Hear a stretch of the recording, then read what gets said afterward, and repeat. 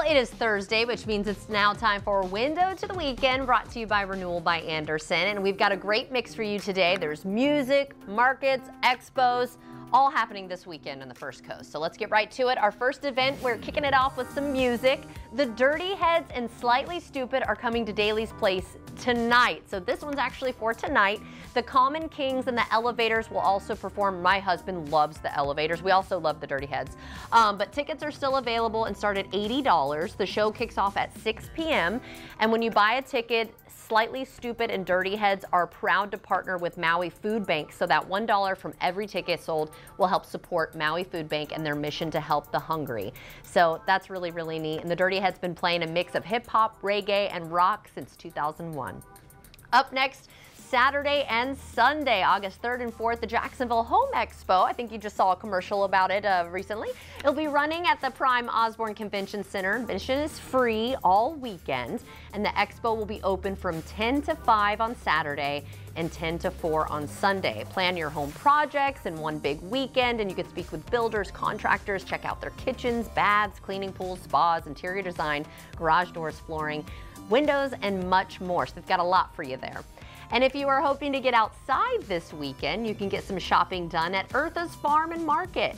Eartha's Farm and Market hosts a farmer's market every Saturday from 10 a.m. until 2 p.m. You can shop organically grown produce, some hot food as well, an array of prepared foods, and all sorts of other locally sourced goodies. I love things like this. And you can double your SNAP or EBT benefits at Eartha's Farm Market with fresh access bucks. Additionally, on Saturday, Eartha's Farm and Market will host a farm tour and an introduction to organic marketing, or marketing, organic gardening workshop. Um, that sounds really cool too. I do not have a green thumb, so I would need something like this. And during the tour, visitors will get a behind the scenes look at Eartha's Farm and Market, including a 45 minute guided group tour detailing the history of the project land, or the project and the land, I should say, in the Introduction to Organic Gardening workshop. Farmers are going to teach you everything you need to know to start your own garden. These events are actually free, but donations are encouraged to keep the program free. Also on Saturday, check out the Melanin Market Rodeo Edition. The market kicks off at 11 a.m. and runs until 5 p.m.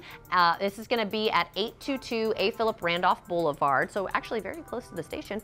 This event is great for the whole family. There will be vendors to shop, food trucks, and interactive rodeo-themed activities. So make sure you have that cowboy cowboy hat maybe those boots.